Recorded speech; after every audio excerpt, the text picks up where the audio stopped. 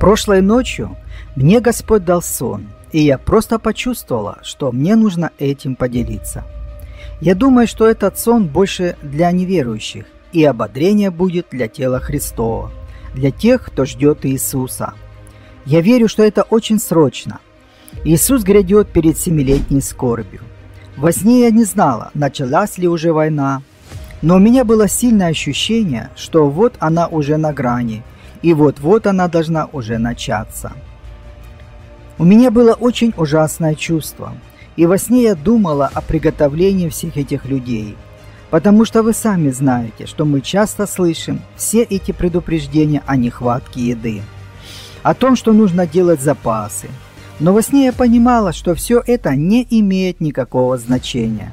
Я четко понимала, что никакая подготовка не подготовит всех этих людей на самом деле в этой семилетней скорби. Никакая подготовка, никакое количество запасов, ничего. Ничего не может тем людям не поможет, которые останутся позади. Просто нет возможности подготовиться к этим вещам.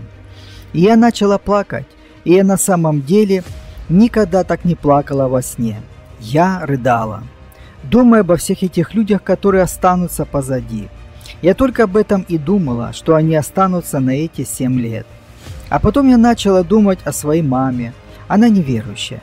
И я подумала, как бы мне предупредить ее, через что ей предстоит пройти. Потому что я знала, что она не собирается принимать Христа. И я знала, что она, скорее всего, не верит слову, о котором я ей говорила.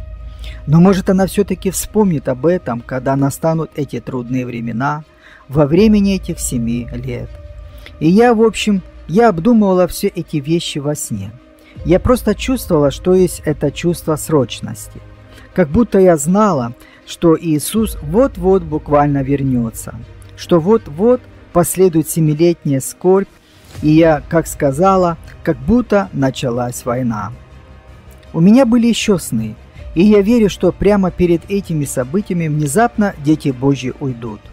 Мы смотрим сейчас на мир, и кажется, что становится все очень плохо. И все так быстро разворачивается сейчас, как никогда-либо.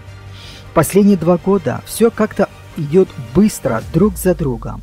Случается сейчас то, что многие когда-то говорили, и казалось это безумием. И второй сон, о котором я также хочу сказать. Мне Господь показал во сне как шкалу. Я видела свой дом, и там было все пусто, как будто все ушли оттуда – я сама как бы была на чемоданах, готовая к переезду. И в моем доме впоследствии оказались люди, которых я не звала. И все они там располагались кто где, в комнатах. И знаете, эти люди представляли собой детей дьявола, как сатана. Возможно, неверующих какой-то степени.